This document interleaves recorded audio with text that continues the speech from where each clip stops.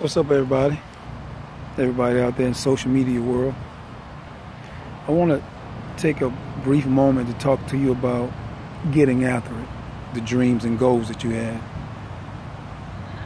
And I want you to understand that getting after it just simply means the way I'm trying to approach it is I'm looking at chronological time.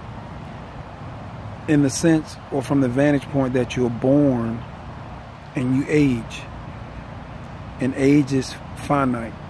And I don't think that there's a human being on the planet that can deny that. The psychological aspect of it is about achievement and whether it makes you feel good or bad, right?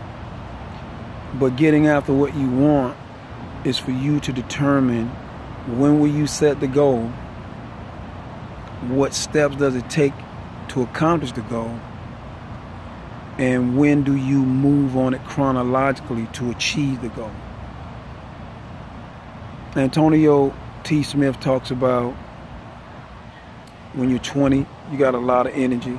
When you're 30, you have a lot of energy. When you're 40, start to fall off a little bit. When you're 50, get a little, get a bit more tired. And when you get 60, you just think you should surrender.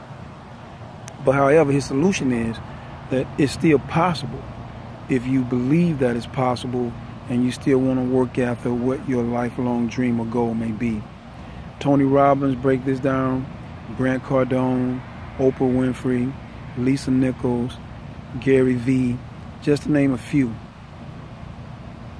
But the aspect that I'm trying to approach it is they tell you how to do it. But my thing is, what are you going to do to do it? You got to gear your mind up. And you have to understand that failure is just a, a blocking point. You have to overcome it and keep going. And in order for you to really get after it, you have to really be motivated by it. You have to be willing to stick to it no matter what the cost. As long as you're not doing anything detrimental to yourself or to someone else, every day you should write that plan out.